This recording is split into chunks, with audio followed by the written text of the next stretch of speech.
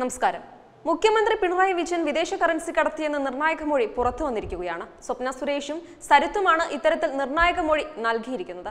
Dollar കടത്ത് കേസിലെ ഷോക്കേഴ്സ് നോട്ടീസിലാണ് customs സ്വപ്നയുടെ മൊഴി ചേർത്തിട്ടുള്ളത്. മുഖ്യമന്ത്രി പിണറായി വിജയനും സ്പീക്കർ ശ്രീരാമകൃഷ്ണനും വേണ്ടി വിദേശ കറൻസി കടത്തിയിട്ടുണ്ടെന്നാണ് സ്വർണക്കടത്ത് കേസ് പ്രതി സ്വപ്നയുടെയും സരിത്തിന്റെയും മൊഴി.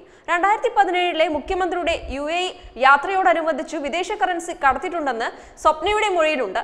മുഖ്യമന്ത്രി യു എയിൽ എത്തിയ ശേഷം പ്രിൻസിപ്പൽ സെക്രട്ടറി ശിവശങ്കർ സ്വപ്നയെ ഫോണിൽ വിളിച്ച് ഒരു പാക്കറ്റ് മുഖ്യമന്ത്രിക്ക് എത്തിക്കേണ്ടതുണ്ടെന്ന് അറിയിക്കുകയായിരുന്നു.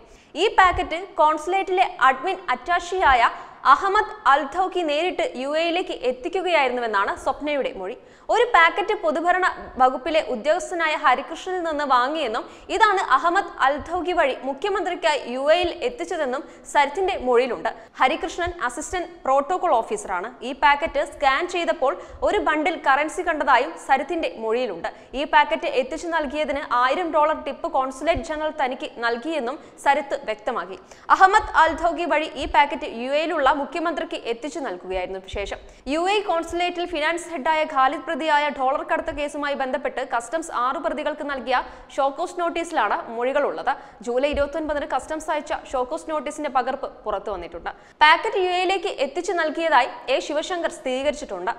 എന്നാൽ അതിൽ വിദേശത്തുള്ളവർക്ക് നൽകാനുള്ള സമ്മാനങ്ങളായിരുന്നുവെന്നും വിദേശ കറൻസി ആയിരുന്നില്ലെന്നുമാണ് ശിവശങ്കർ പറയുന്നത്. മുഖ്യമന്ത്രി പോകുന്ന സമയത്ത് ഒരു സമ്മാനം മാത്രമാണ് തയ്യാറായിരിക്കുന്നതെന്നും മൂന്ന് സമ്മാനങ്ങൾ കൂടി അവിടെ എത്തിക്കേണ്ടതുണ്ടായിരുന്നെന്നും അദ്ദേഹം പറഞ്ഞു.